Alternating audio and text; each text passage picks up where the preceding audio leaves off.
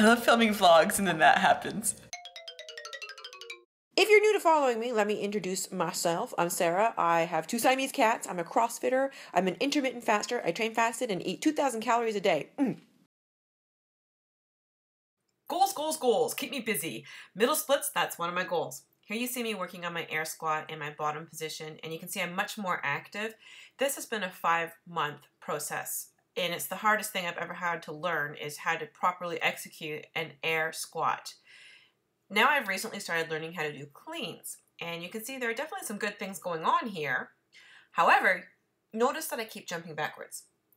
Now keep watching the vlog because my coach Gus is going to be working with me. He will explain why this was happening and he's going to show me how to fix it. And here you see me working on my front squats. I mean, this serves as the base for the catch position in the clean, and it's great for strengthening the quads and your core. Thanksgiving dinner, courtesy of Mummy. Turnip and carrots and Lettuce, turnip, and pea. Brussels Apples, sprouts because they're Granny's favourite. Turkey. The turkey roast. It's only white meat. Mashed potatoes. Ooh, baked tomatoes. I love those. Broccoli, cauliflower, stuffing, peely apart buns in the oven. Table with a view. This is my plate. I'm gonna eat it all. All right, training time. So you already know that I vowed to do more bridges because I hate them. Oh, Bean. I cannot emphasize enough the importance of constantly going back to the basics and learning how to do your basics better. You see me doing a lot of scapular retractions, a lot of accessory work, core work. You can see I'm doing plank holds, hollow body holds. Oh, Coco. All right. Look at how much better my strict pull-ups are this week compared to previous weeks, just because I've been working on the accessory work and the banded pull-ups. And here's my chin up. And again, major improvements here. I'm very pleased with this. Again, my hashtag is do it well. And that's my goal, to do things well. And it's an odyssey. So here you can see again, I'm working with the bands. And I recommend you work with the bands because see how you can hold it at the top and then slowly lower. And that's how you will eventually nail your pull-ups. So I'm going to do deadlifts. So I like to just warm myself up with some banded good mornings. And I warmed up with some lighter weights. And here you see me doing 185 pounds. And then guess what? That's 200 pounds. It doesn't look pretty. It doesn't feel pretty, but I did it. Guess who's in the 200 club now? I just deadlifted 200 pounds. Birthday dance from Sarah. They look nice. Ta-da! Ta-da! Bean's gonna jump up and get the tag. Oh. Fish oil. Amino X Edge in all three flavors. Syntha-6 Edge protein powder in vanilla and sugar cookie. Ta-da!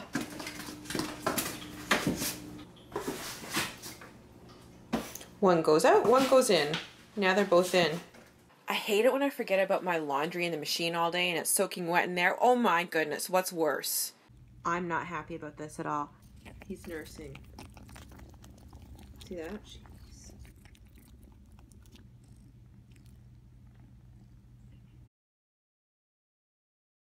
Back at the vet, today is vaccine day.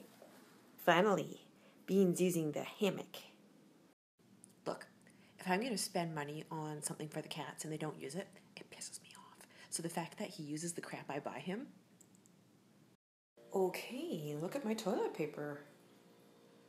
Aha, guilty. Once a month, I like to disinfect all of my gym equipment, clean underneath of it.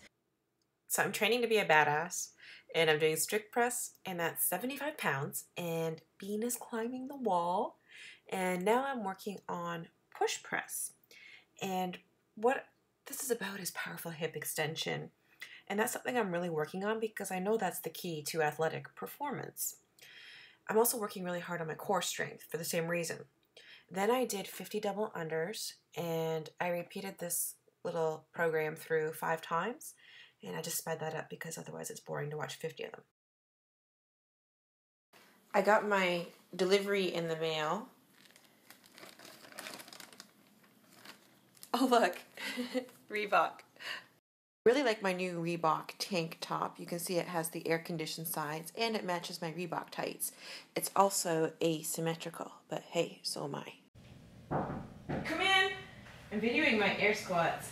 Dun, dun, dun, dun, oh. dun. It's a nice squat.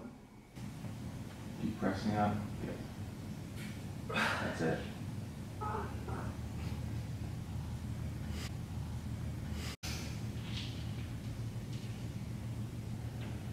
How's that? Good, but your pelvis is starting to tilt back a little bit, so your rib cage is opening up. Okay, yeah. Oh my god. Yeah? So think about pulling your belly button and your sternum towards each other, right?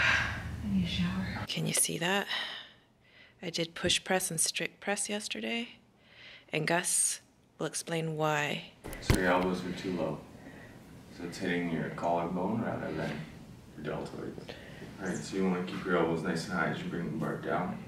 So it sits across your shoulders instead of crashing down. Okay, so today's lesson was Trying to refine hip extension. and sequencing hip extension to the rest of the glutes. Right, so you want to kind of get under it a little more. Better. Right, but the bar was a little bit high and it kind of crashed down your shoulders, right? So you want to actively pull it into the shoulders a little bit more. The only thing I'm gonna think about again is jumping hard into full Yeah. extension. That's Yeah. the only thing I'm gonna put in my brain right now. Mm-hmm. And then just drop. Okay. Like, pull the bar into your shoulders and drop. there, right there. My goal is to look at that buoy so that I'll stop whipping my head back. Yes.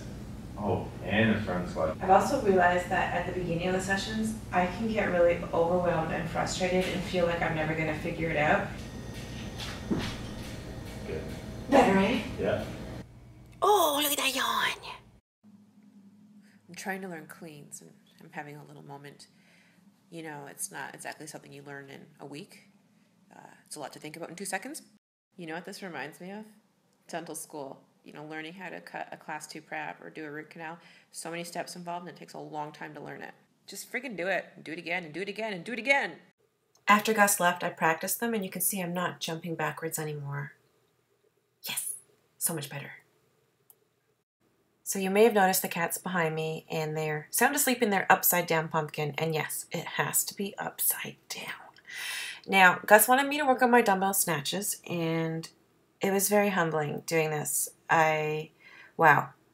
It looks very innocuous, but it's not. I tried the eight pounds and I had to go back down to five pounds. And I understand the importance of mechanics, consistency, and then intensity. And then I worked on my pistol squats to the bench with Bean. Yes, I'm holding Bean. Can you see him? This has to be my favorite segment in the whole video. I love them. So it looks like mom and dad are ready for Halloween with all their Halloween size candy. Ooh, I like those, the Hershey's drops. And I just left my parents' condo, and there's a 100% chance that I may have eaten some chocolate. And meatballs, too. I had meatballs, and they were really good. He's attacking my custom made Reebok Nano 6s. That's a big no. I was pretty sore from the dumbbell snatches from the day before, so today was an accessory day for me. So you saw me doing the bench step ups. I also do it with the stool using the kettlebells, and this also works my grip strength. And you can see I'm doing my suitcase deadlifts and my ab mat sit ups, but watch Bean under the stool. Oh, ooh, e. and of course, my split squats. And notice I get my knee right down to the pad. What's happening in the pumpkin there? Do you see that? Can you see it wiggling? Who's in there? Fast breaking meal ready. I've got my Greek yogurt with this strawberry Syntha-6 Edge. Got my BSN protein bar. I have two hard boiled eggs with Brock slaw and bruschetta. Gala apple. And I'm drinking the Fruit Punch Amino X.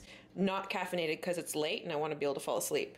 Does everybody have to be involved in my vlog? Cat climbing my leg. So excited. This is my me time, which I rarely take. And I'm watching the Froning documentary Canadians, hello, chance for you.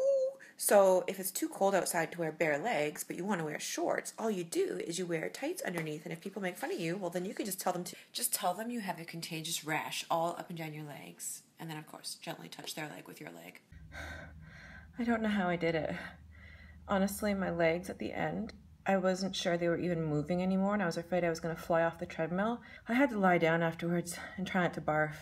I don't think I've ever pushed myself this hard before in my life. So here's my fitness graph for running. And here's my new record 10 miles an hour, 90 seconds. Look who's getting faster across broad time. My goal is to become a better runner, and we all have to start somewhere. And you can see that if you put your mind to something and you have a methodical approach, you can get fitter.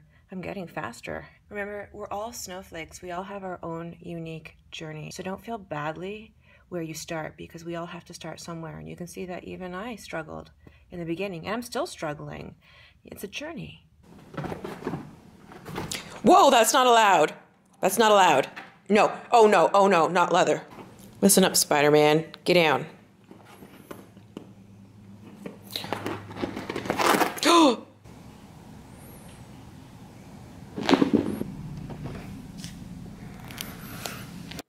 Training again to be a badass. I'm doing push jerk here and my wall walks as well as my shoulder taps. Oh, look, I actually slapped my side. That's a new thing for me I'm working on. I want to have stronger shoulders that can really support my body weight because I have a fantasy goal to someday be able to do a back handspring. And I'm working on really good form with my push ups. And I'm also really focused on improving my tricep strength because I want to be able to do muscle ups at some point down the road.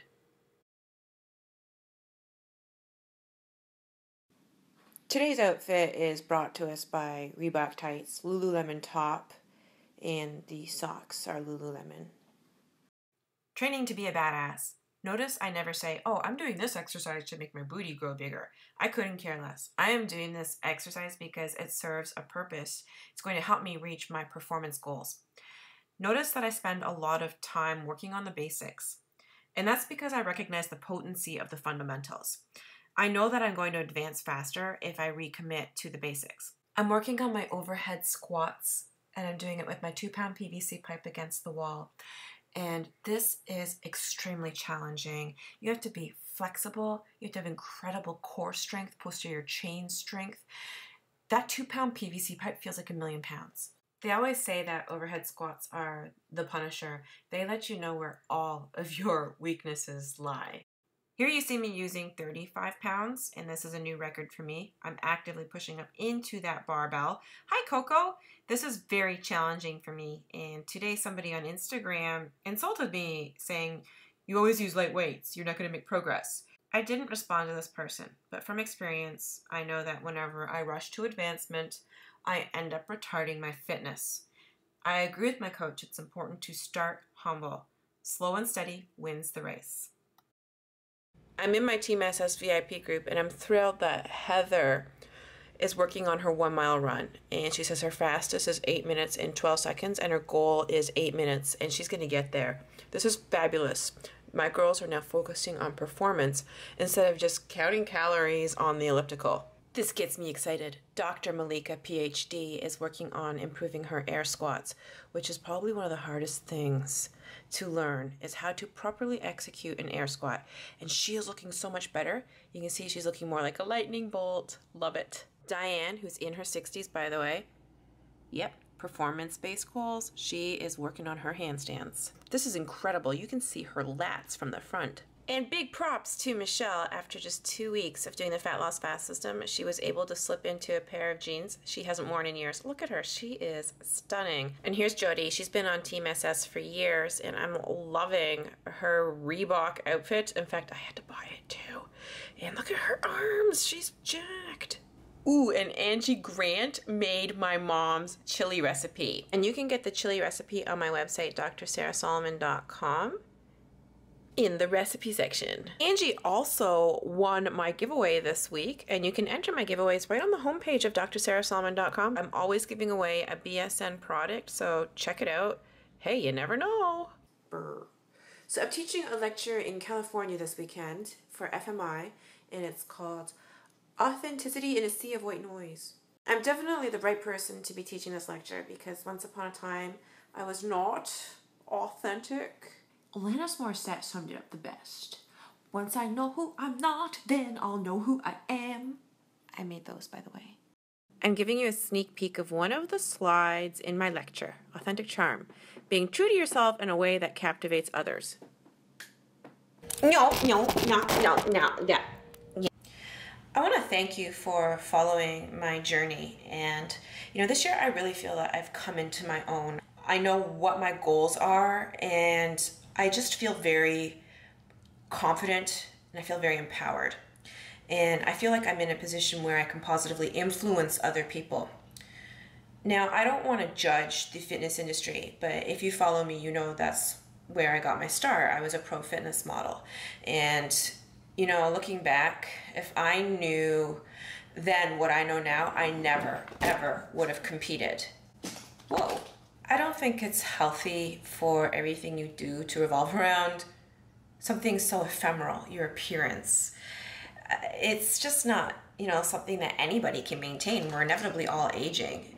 So I'm almost 40 years old, and I look back now on all of the photos I did, the ones of me on stage, all the professional photos I did, and it's just, it's not me, and it never was me. It was me trying to live up to the industry ideal of what a fit model should be. Nobody could have told me back then not to do that. I had to have that experience and figure it out for myself. It created very unhealthy relationships with food for me and it made me incredibly insecure and narcissistic. I was constantly trying to create this uber online avatar for myself. And nowadays, if you follow anybody in the fitness industry on Instagram or social media, that's all you see are their uber assets in your face. And the reality is, most of these assets aren't even real. They've been implanted by a plastic surgeon. But again, I don't want to judge because there's a lot of really awesome people in the fitness industry who are doing really awesome things for a lot of people.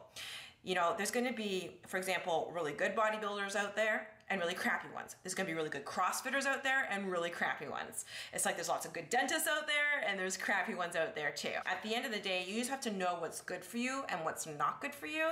And I can tell you straight up that being portrayed as a fitness model or being all about aesthetics, that ain't my jam anymore. I am excited that you are joining me on my new journey, which is all about performance over aesthetics.